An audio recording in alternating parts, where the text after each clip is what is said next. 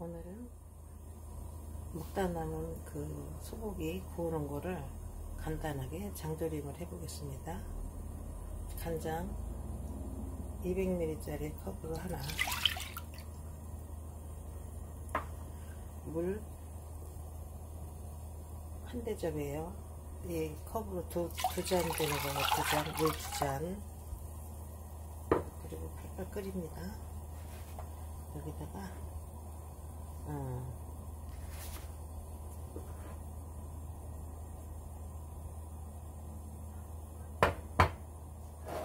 설탕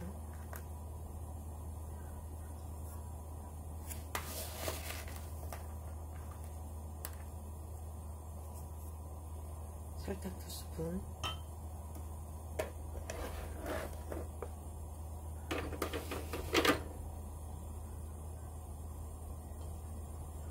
고기를 미리 구워서 잘라놨습니다.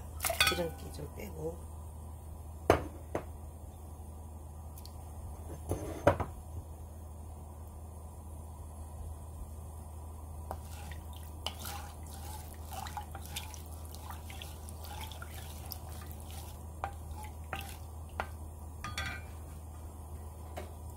소고기와 계란 음, 장조림 할 거예요.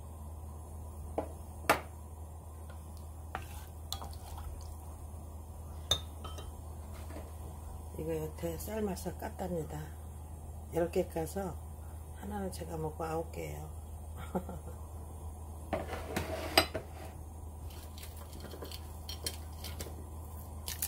마른 고추 제가 말려놓은 거예요. 농사져 가지고 좀 넣고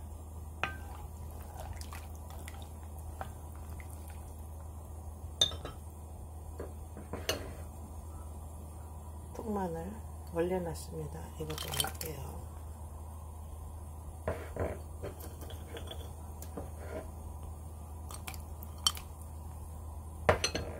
통마늘을 넣으면 감칠맛도 나고 맛있어요.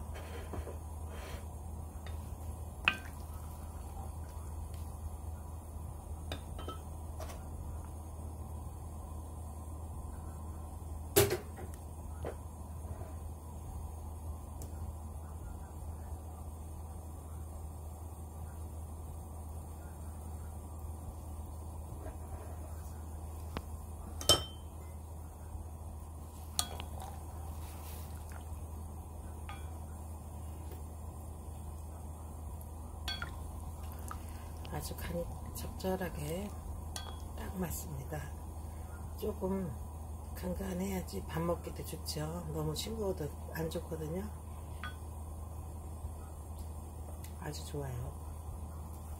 여기다 물을 반 컵만 더 이따가 다 해놓고 짭조름하면 물을 조금만 더 넣어도 상관없습니다. 저는 여기다가 설탕을 한 숟갈 더 넣겠습니다.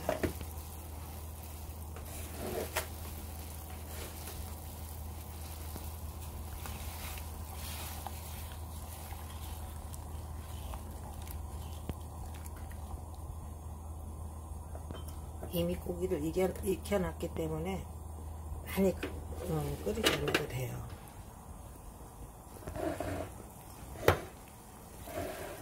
그래서 저는 여기다 계란을 넣고 졸일 겁니다. 그래야 쫄깃쫄깃하거든요.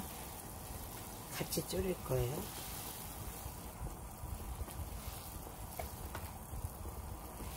그러면 탱글탱글하니 아주 맛있어요. 어떤 분들은 그냥 계란에다가 그냥 장을 부어버리는데 좀 졸여야 돼요. 졸여야지 쫄깃한 맛도 나고 더 맛있답니다. 간이 배어서 맛있어요.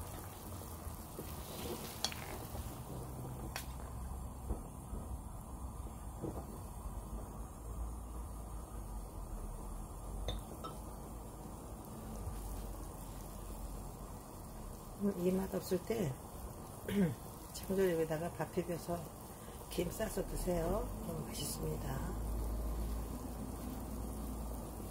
요즘 시장 가면 나물들도 많이 나왔잖아요. 채소값이 워낙 비싸가지고 그냥 냉장고에 있는 거 파먹기도 괜찮아요. 요즘 이렇게 아주 주방을 대청소를 했어요. 완전히 뒤지고 바빴습니다만 어?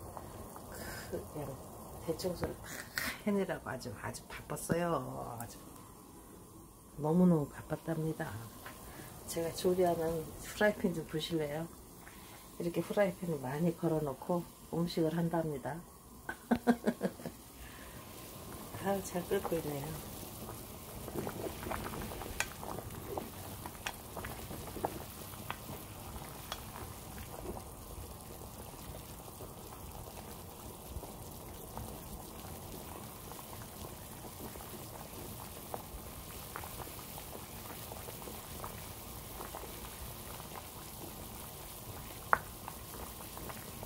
저렇게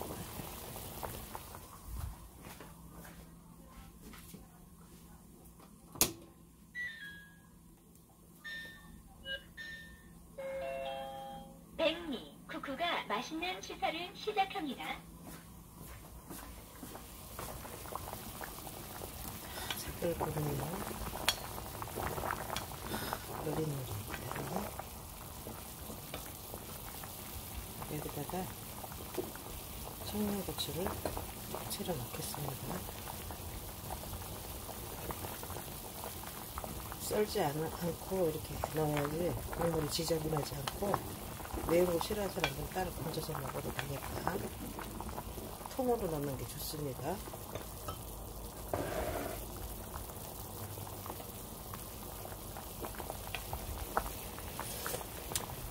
음, 맛있다.